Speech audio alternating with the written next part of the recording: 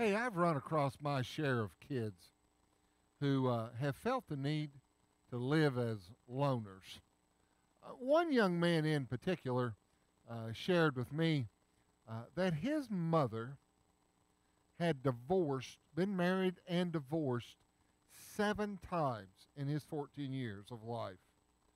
He spoke about living in 11 different places uh, in over a seven year period and going to six different schools in two different states. Uh, he said to me uh, in private one time, "I'm always, I'm always the new kid in the class, and you know it's miserable to join a class in the middle of the year. Uh, the teacher introduces you to everyone, and that is just completely humiliating." He further stated, "Every time I start learning names, my mom seems to say, It's time for us to go, and off they go again.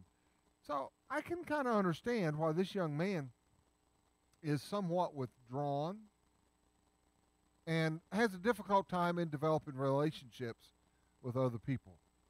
But here's the cool part.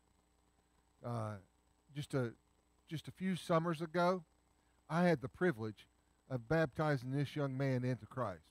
And now he's a part of the church. And he's building significant friendships and relationships that are going to last throughout eternity. He finally belongs. What I'm trying to say here is this I realize that this is something that doesn't come easily to everyone, but if you aren't involved in a body of believers, if you aren't involved in church, I hope you'll fix that. Whether you're fellowshipping online or meeting in person these days, you should get to know people and build real, lasting, eternal relationships. Use technology to the best of your ability. Reach out and develop friendships.